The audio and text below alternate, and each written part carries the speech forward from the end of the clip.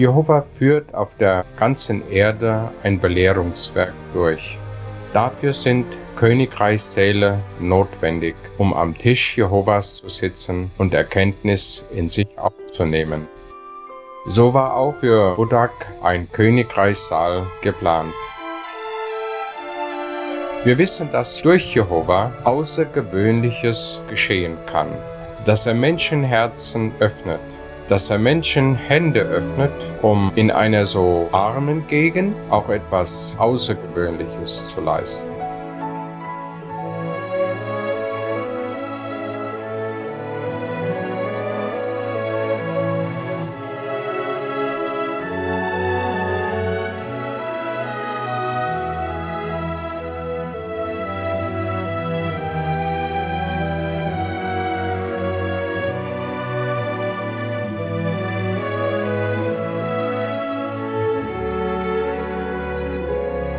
Die Liebe und die Ausstrahlung der Brüder hat uns alle sehr beeindruckt, weil sie mit Eifer und ganzem Herzen bei der Sache waren. Diese Einheit können wir auf der ganzen Erde sehen unter Jehovas Volk und dies ehrt unseren himmlischen Vater.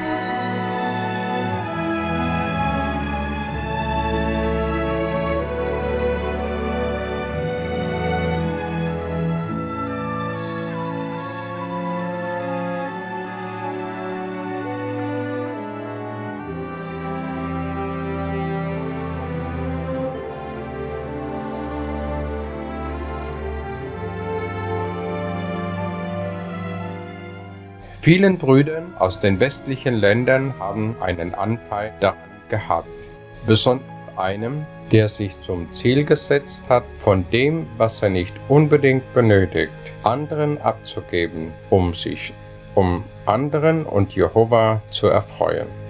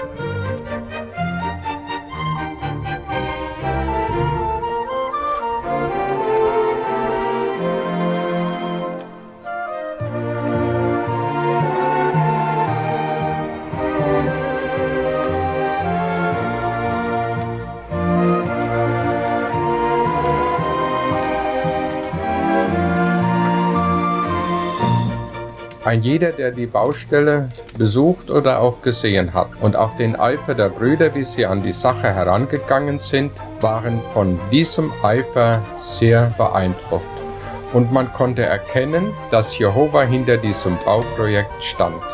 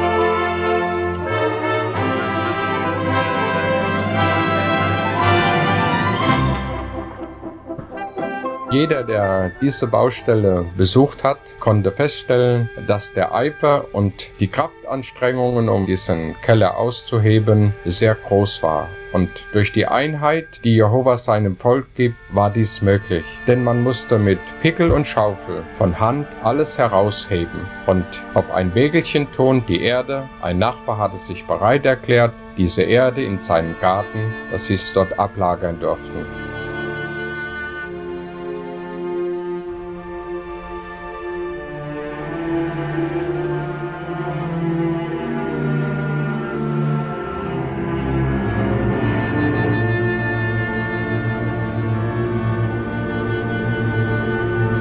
Der Abtransport, wie man ja auch in diesem Video gesehen hat, war wirklich sehr gefährlich und es musste Unterscheidungsvermögen an den Tag gelegt werden, um das bei dem Nachbarn dort abzuladen. Das war nicht nur einfach, wo man gerade in einen Garten reinfahren konnte, sondern mindestens so zwischen 8 und 10 Prozent Gefälle. Dies wurde alles von Hand durchgeführt.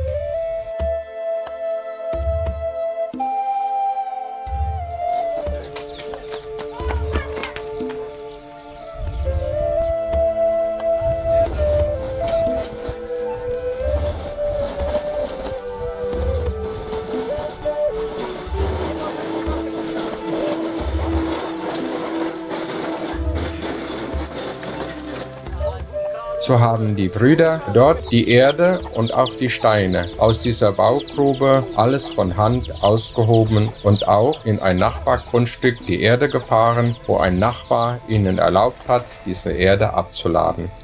Und das nicht nur einfach auf in ein flaches Gelände, äh, sondern in ein abschüssiges Gelände, so dass alles im Großen und Ganzen nur mit einer großen Kraftanstrengung durchgeführt werden konnte. Mit einfachen Mitteln wurde die Erde wieder dort befestigt, wo sie lose war, weil ja auch wieder der Untergrund gefestigt werden musste, wenn später wieder der Hof oder sonstige Dinge draufgebaut werden, dass es nicht absackt. Und das selbst, das war eine große Kraftanstrengung, denn wir in Westeuropa haben ja dafür alles Maschinen, aber hier kennt man diese Methode und trotz allem ist es zu einem guten Gelingen gekommen. Der Eifer, den jetzt hier die Brüder an den Tag gelegt haben, hat sich auch übertragen auf die Schwester und die Kinder. Sie wollten die Kinder bei allem dabei sein, es miterleben, wie sie dieses Haus bauen durften oder dass sie es tun konnten. Und die Schwestern nach ihren Möglichkeiten haben sich so eingesetzt, dass sie eine Hilfe den Brüdern waren, die die Bauverantwortung und auch den Mitarbeitern.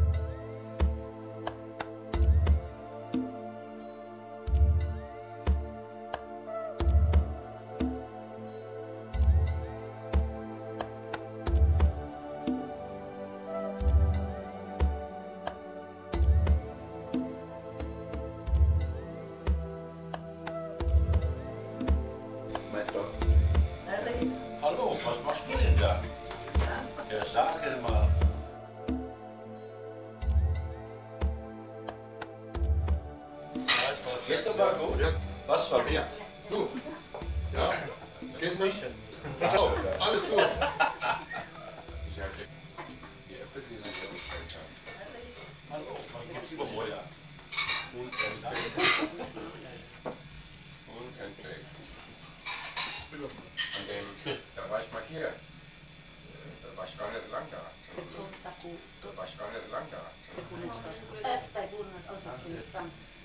Wenn es gut war, was sagt man dann? Nicht extraordinär. Was sagt man? Und extraordinär, was heißt das? Extraordinär.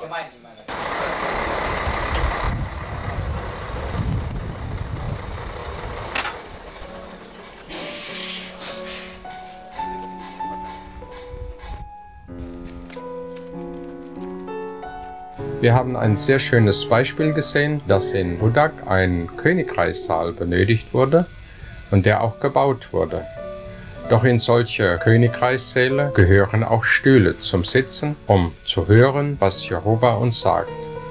Und so haben wir einen großen Transport gemacht mit 1000 Stühlen, in Bistrica abgeladen wurden und dann in die einzelnen Versammlungen, dort wo es benötigt wurde, ausgeliefert haben.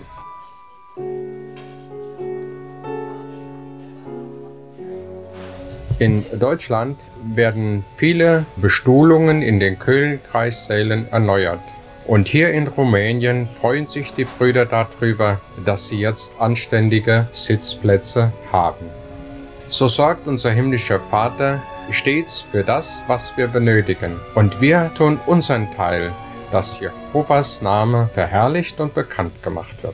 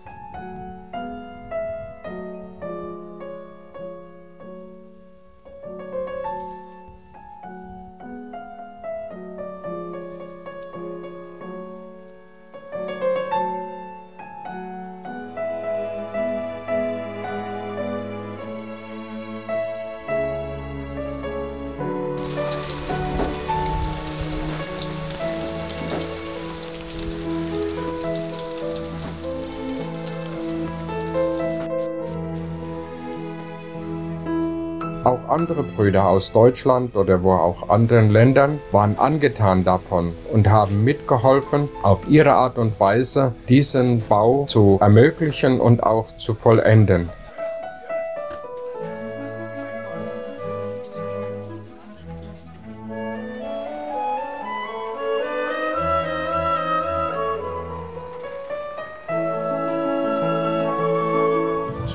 Königreichssaalbau gehören ja nicht nur Stühle, sondern auch die Inneneinrichtung, zum Beispiel Heizungsanlagen, Waschbecken, Toilettenanlagen.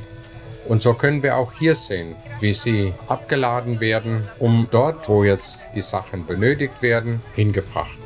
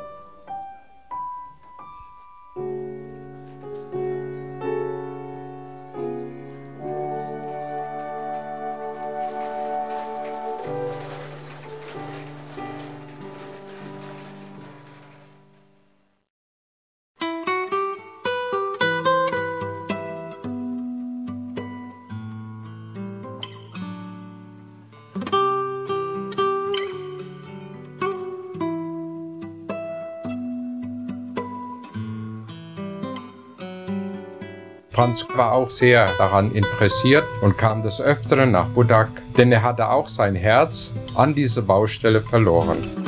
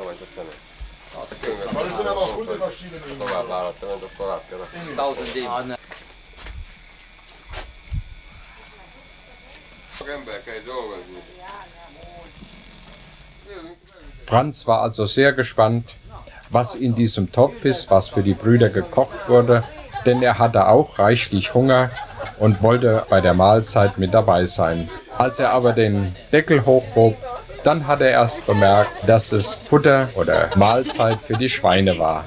Und somit entstand eine lustige und kuriose Begebenheit.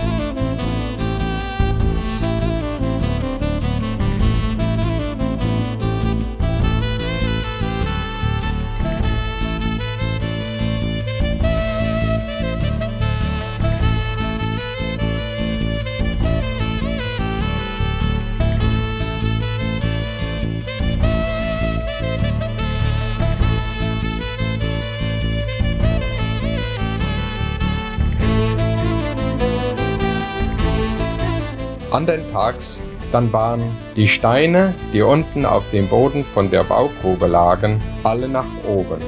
Die Steine wurden vorsortiert für das Fundament, das man gießen wollte, und das waren zig Tonnen gewesen. Und das alles von Hand.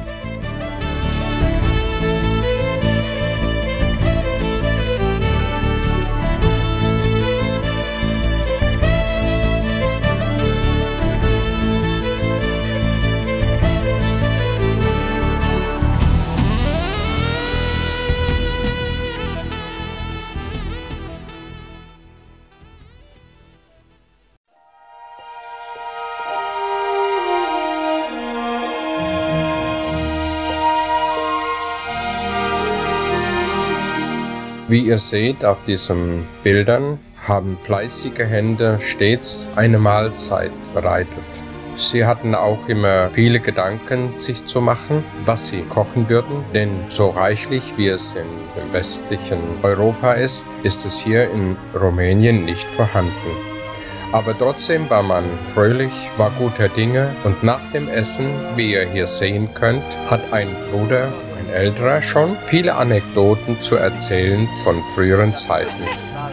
Man hörte aufmerksam zu, man freute sich über diese Anekdoten und so ging man erfrischt, sowohl in physischer als auch in geistiger Hinsicht, wieder an die Arbeit.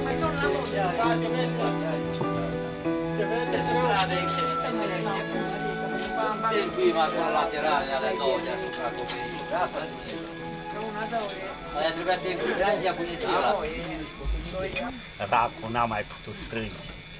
Iar dintr-o bălții smârc, filosof, un cocostârc, i-a spus racului zanatic și avea minte cât și păr, următorul adevăr. Fie-ți balta cât de lapă, când n-ai minte să o socoată, printr-un pai de o lasă scurgă să se scurge balta toată. La mireasă din cosiță numai florii tale, merg la el, fie pestriță și lătită ca un cruce, și galben și tot Die Cafeteria hatte ihre Probleme. Nicht, dass sie nichts zu essen hatten. Aber die Nachbarschaft und auch Leute aus dem Dorf haben gesehen, dort gibt es etwas zu essen. Weil so reichlich sind diese Mahlzeiten hier in Rumänien nicht vorhanden. Und so hat es gar manchem Kopfzerbrechen und auch Bauchschmerzen verursacht. Wie machen wir das, ohne unfreundlich zu sein, einem anderen auch klar zu machen, dass wir nicht das ganze Dorf oder ein Teil des Dorfes ernähren können?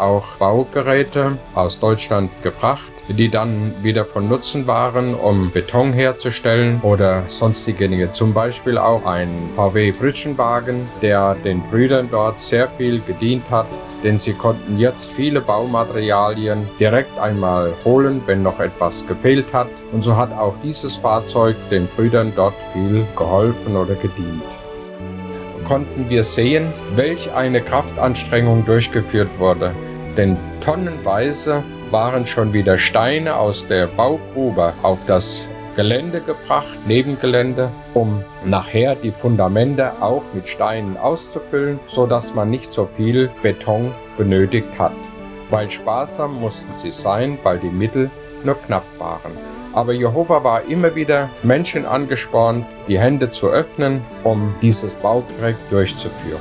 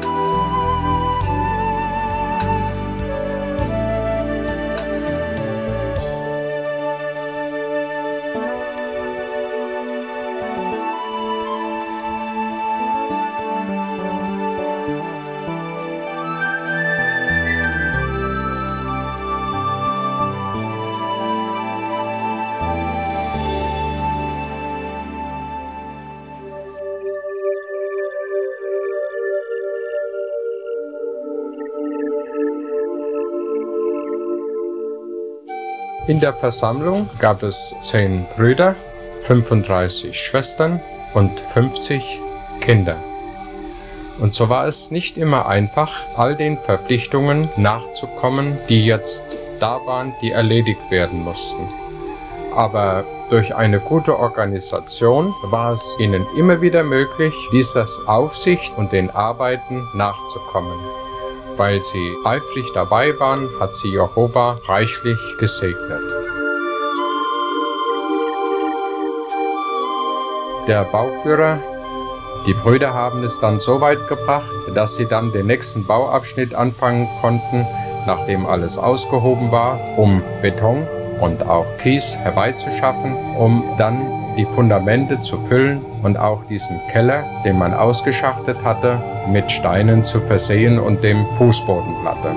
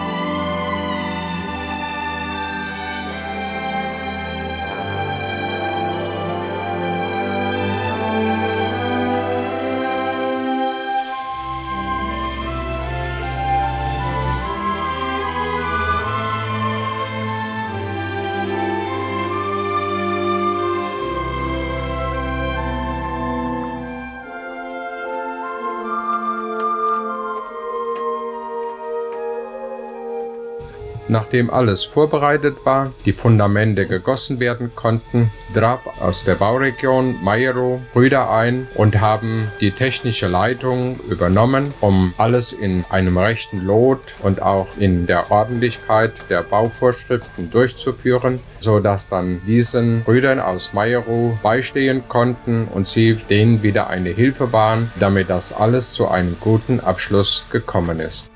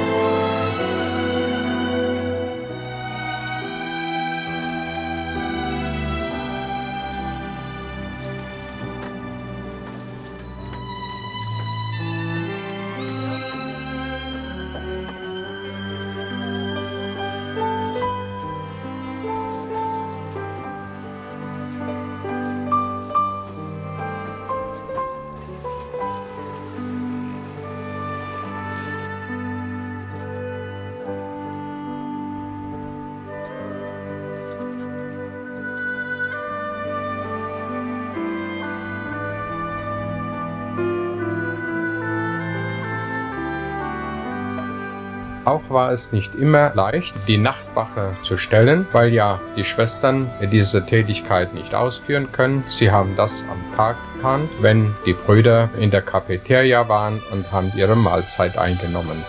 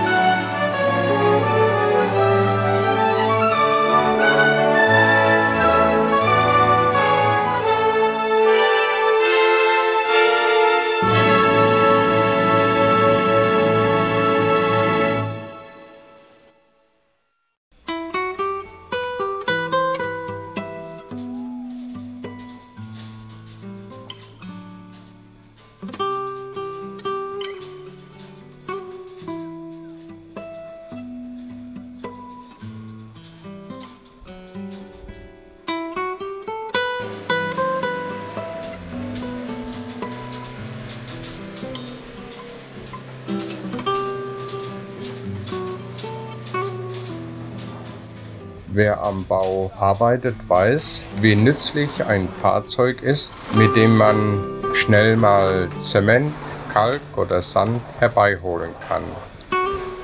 Und so wurde auch durch eine Spende es ermöglicht, ein VW Britschenwagen nach Bistrica oder Budak zu bringen, damit ein guter Ablauf der Arbeiten gewährleistet werden konnte.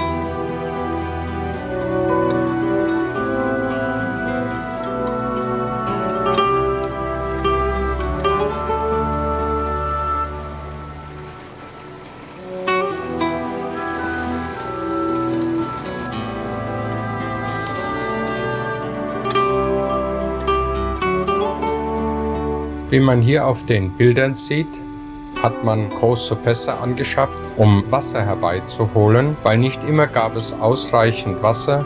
Man fuhr zur Quelle und holte sich dort in diesen Fässern das Wasser für den Beton oder Speis zu machen.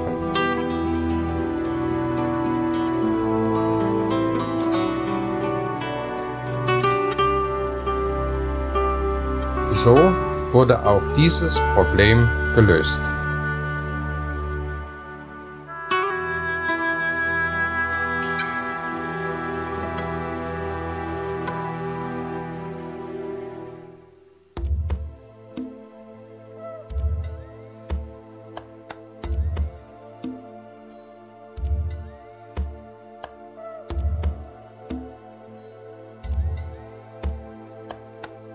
Für die Versammlung Budak war es ein großes Ereignis, als ein LKW aus Virgo kam und hat das Holz für das Dach gebracht.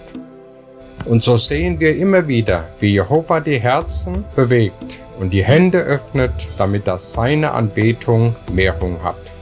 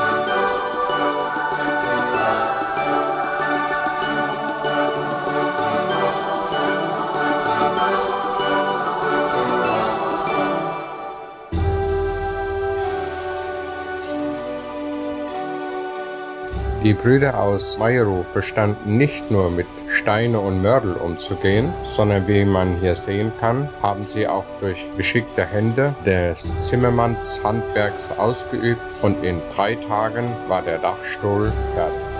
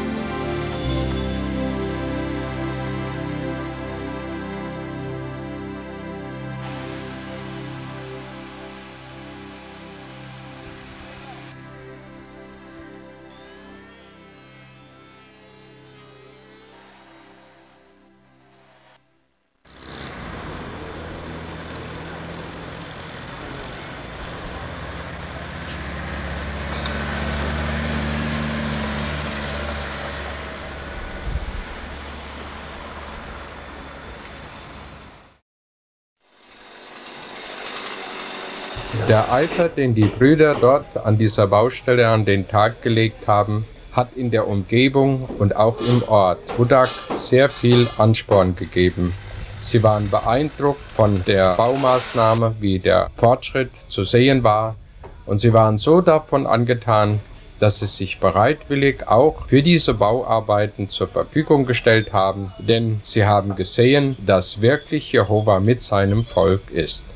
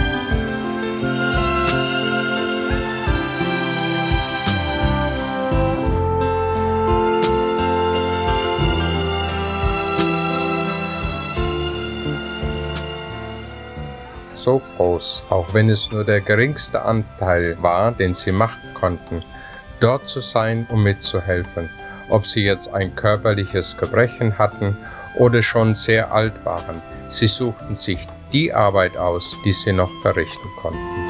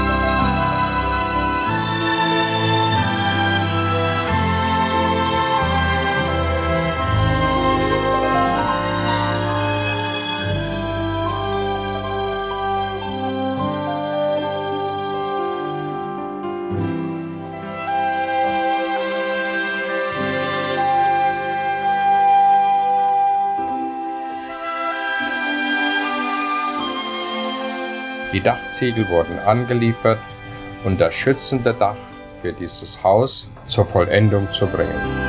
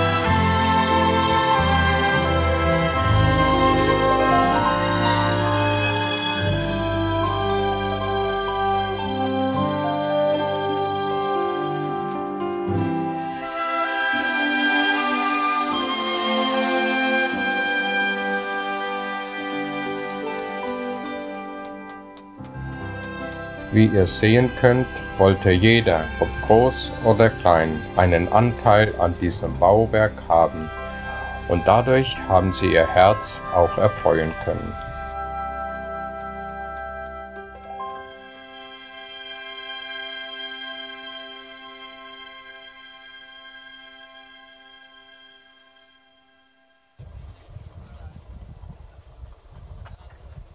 Einem Haus, das erstellt wird, benötigt man auch die Beseitigung der Abwässer.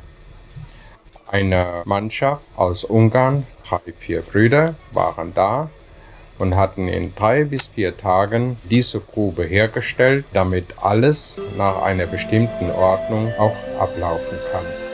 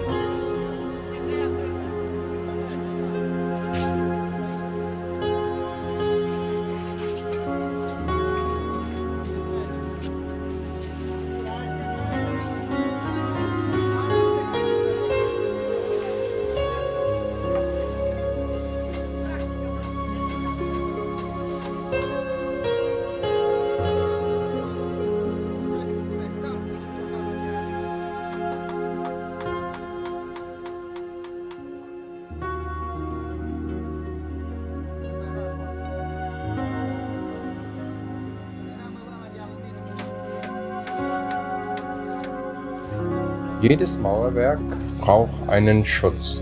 Dies war notwendig, aber Voraussetzung auch ein Gerüst.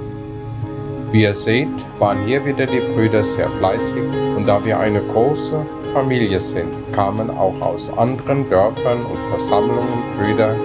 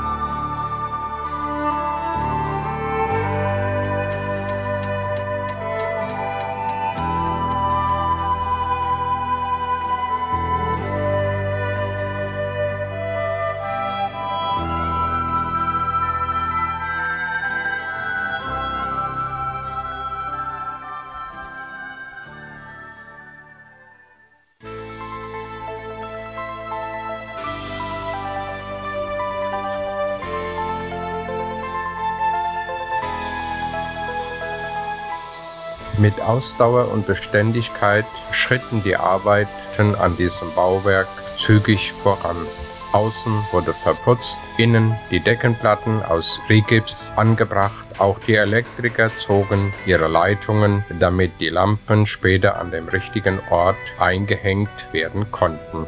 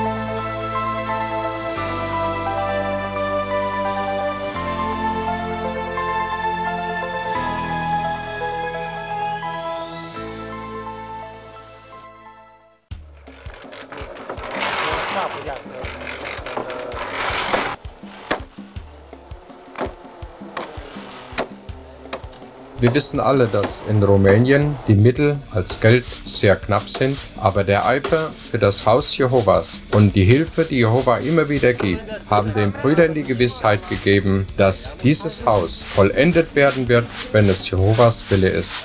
Und es ist wirklich zu einem guten Ende gekommen und alle, auch in der Umgebung, konnten feststellen, dass es wie ein Wunder war, dass man eine Baustelle angefangen hat und auch zu Ende gebracht. Denn in Rumänien sieht man viele Baustellen, die nicht zu Ende kommen, weil die nötigen Mittel fehlen.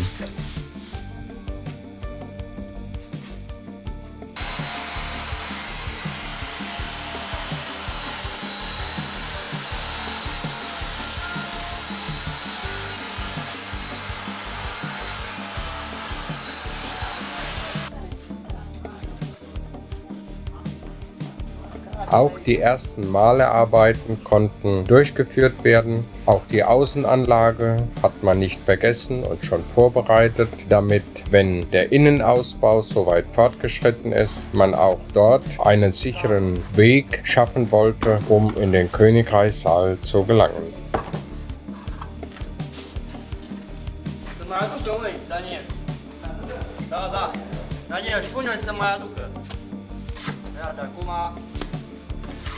Tá. Ah.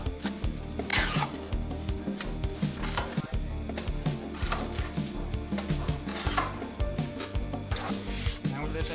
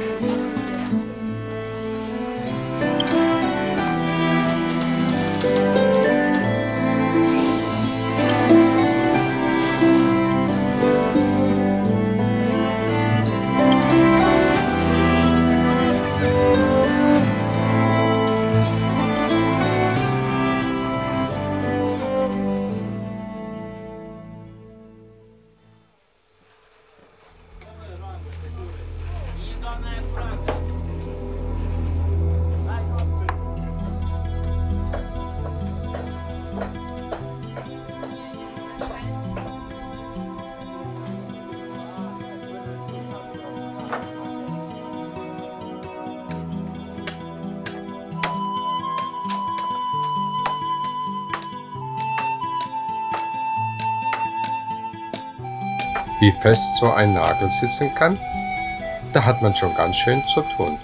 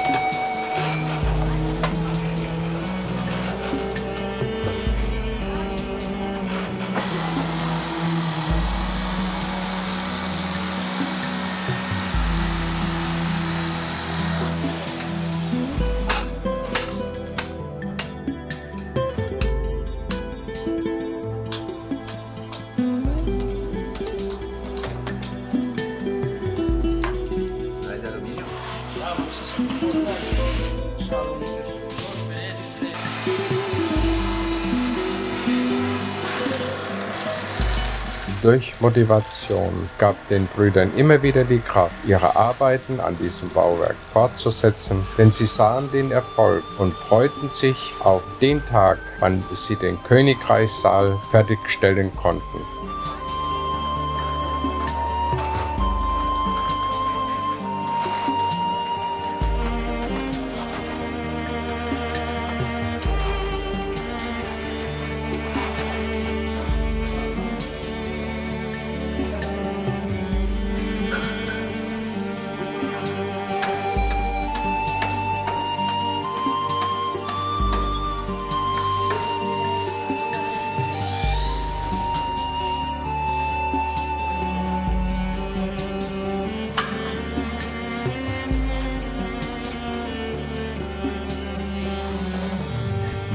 Schon gerne sauber? Aber selbst die Jüngsten gingen mit Fleiß daran, den Besen zu schwingen, dass die Baustelle schön sauber war. Auch wenn der Helm verrutschte und fast vom Kopf gefallen wäre, ließ sie nicht daran hindern, eifrig weiterzumachen.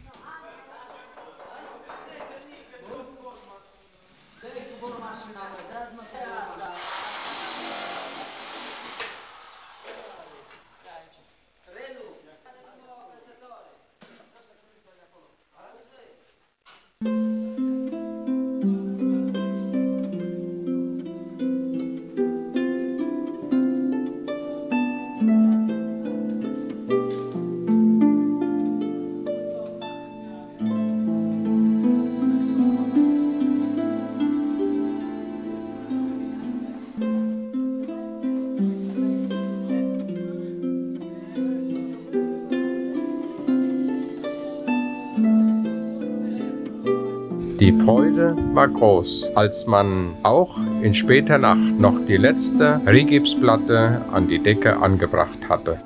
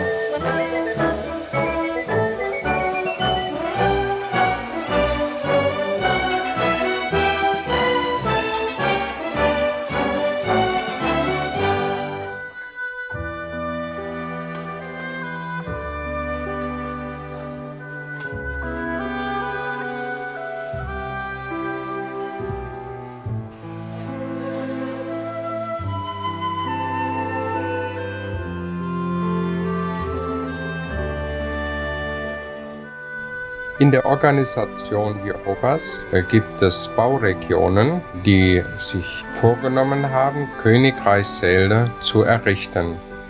Eine dieser Handwerkssparten ist die Heizungsbau und Sanitär. Brüder aus Deutschland haben in Budak in nur drei Tagen die Heizung zusammengestellt und funktionsfähig gemacht.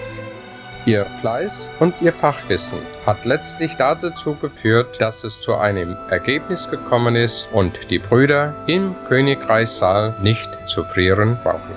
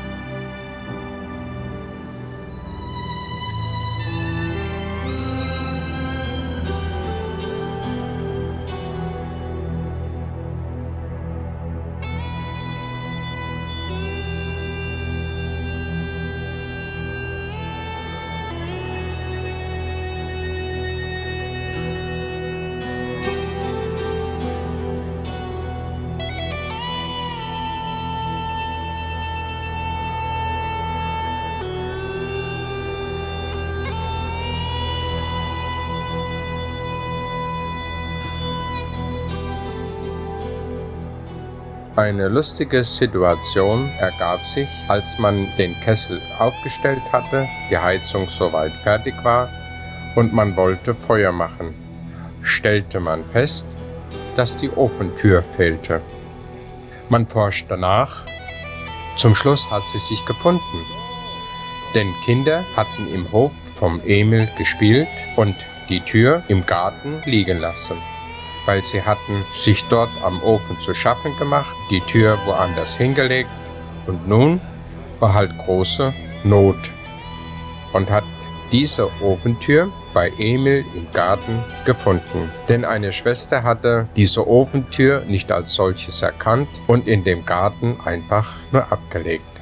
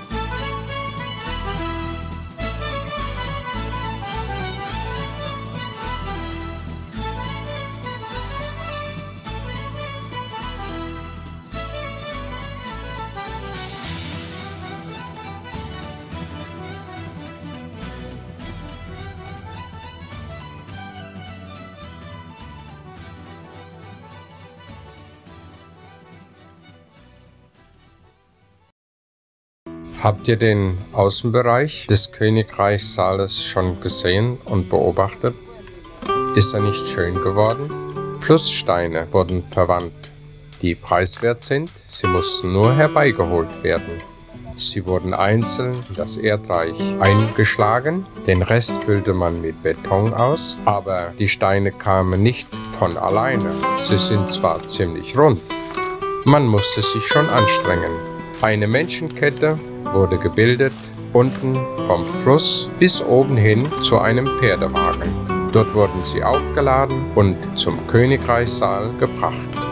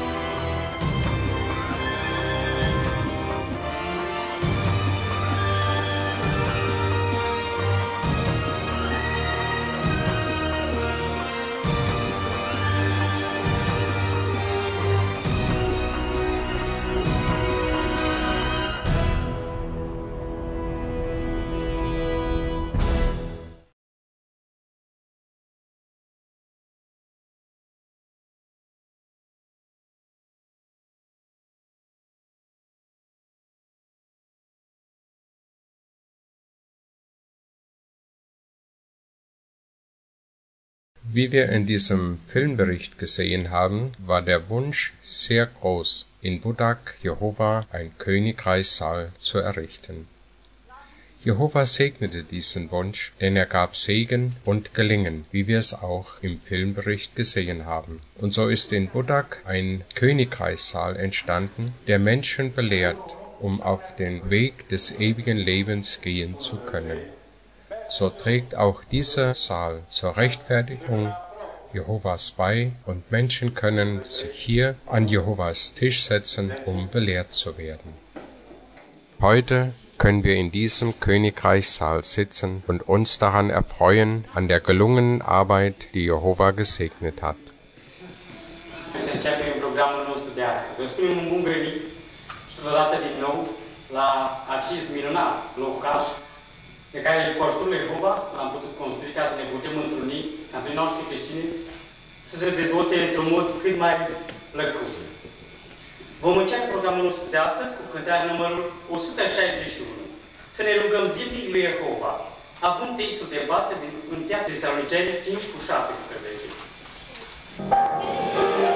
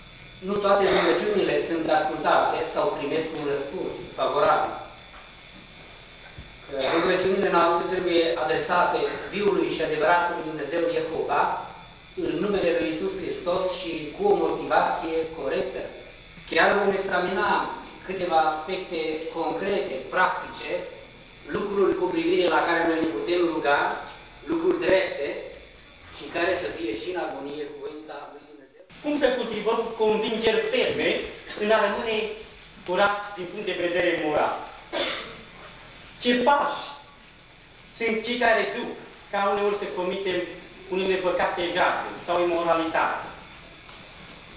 Și al treilea subiect pe care îl putem învăța este să învățăm din păcatele lui David.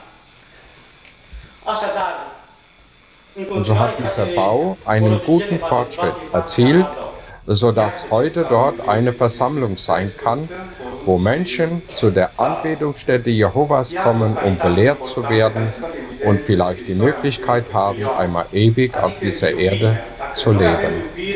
Und so haben alle einen Beitrag geleistet, dass Jehova geehrt wird. Und die Liebe und die Herzlichkeit unter den Brüdern war für uns sehr beeindruckend und nachahmenswert, denn wir erbauen uns alle gegenseitig, um Jehova zu dienen. Întrebarea? Ce a însemnat pentru Iuda și Ierusalim Dumnezeu și-a vărsat mânia? Nu luând în considerație aceștia norme teocratice, ei se împotrivesc direct conducerii lui Iisus Hristos. Da? Noi am putea explica acest text că Jehova va distruge creștinătatea. Jehova le cunoaște inima Da? Sora El i-a căutat pe niște noastre. Și nici pentru nu mai trebuie bogăți. Dacă e omul ca. Acumulăm comori în cer, păstrând noapte.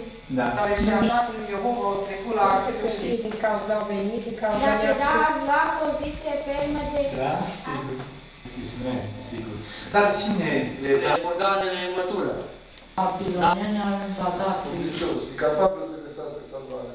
Jehova și împlinea misiunii ca să avertizăm. Wir